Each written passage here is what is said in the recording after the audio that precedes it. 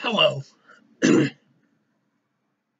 video is regarding uh, raising funds for treatment and seeing a doctor, as well as uh, maintaining my phone bills in order to be in contact with the people regarding my disability.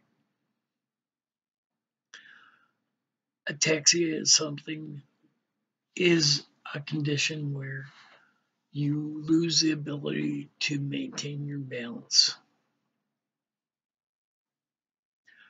In the last year, I have developed a strong uh, imbalance in my ability to walk.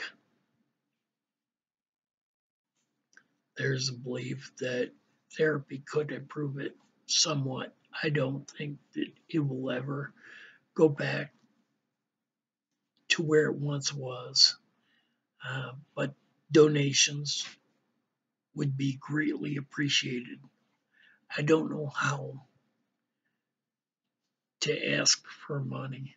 I never been in never asked government for money before.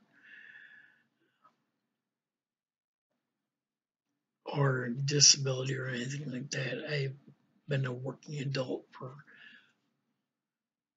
since I was 16. So, and I'm 55 now.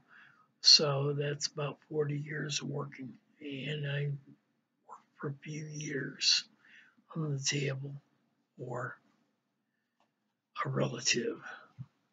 So I have over 40 years of working in